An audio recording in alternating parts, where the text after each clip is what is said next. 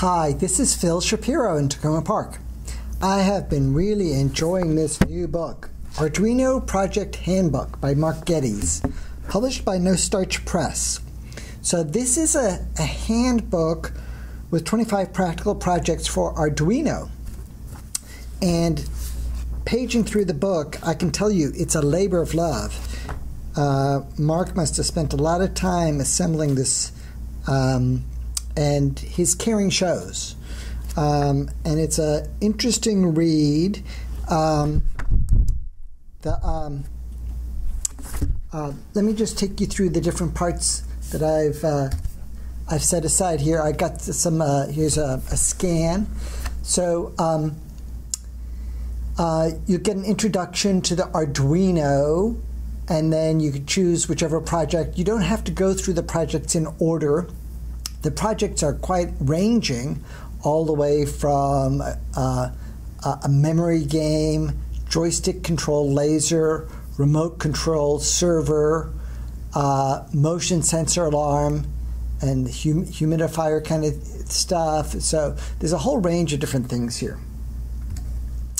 Um, on this page over here, he says, What encouraged him to write the book? Because there are a lot of Arduino tutorials out there, um, but some of them are better than others, and they don't have consistency. So here's 25 projects where there's a high consistency of the quality of each project, both in the descriptions and in the photographs. Um, this book is suitable for Windows, Mac, and Linux, he explains.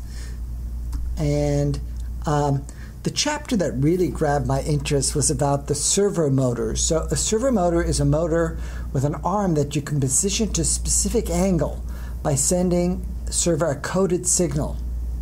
So, um, this is a scan I have of that page, and the part that really intrigued me is that you can control the servo motor with a remote control, like an old TV remote. And um, for a person like me who likes to uh, conduct pranks, I was thinking there's not only hundreds of pranks, but thousands of pranks that you could do with a remote control and a servo motor and um, and an unsuspecting coworker, family member, or classmate, or whatever, um, dorm dorm room uh, person that you share a dorm room, so dorm roommate. So um, other things I like about the book, very visually attractive, very visually attractive. Um, the layout, a lot of effort went into that. And I like at the end of the book, they have a very nice appendix of components. Here's the appendix of components. Um, very nice uh, photographs and explanations and drawings. Um, explains about the breadboard um, the potentiometer, uh, the humidity sensor, the tilt ball switch, um, the photoresistor, RFID reader. Well, gee, th- there is a bunch of stuff in here. This is an interesting book.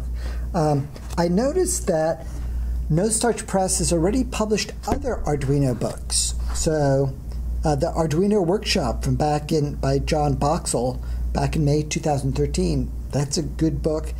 And then the Arduino Playground, that's another one from the fall of 2016. And then next year, there is the SparkFun Guide to Arduino. So there's multiple books about Arduino from No Starch Press, and this one is a winner. The other ones are probably also very good, but this one I can tell you is a winner. Um, I really enjoyed reading it.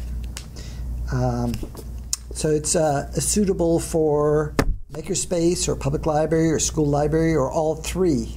Suitable maybe as a present for your niece or your grandmother or any other geek you know who, who loves to get into this kind of stuff.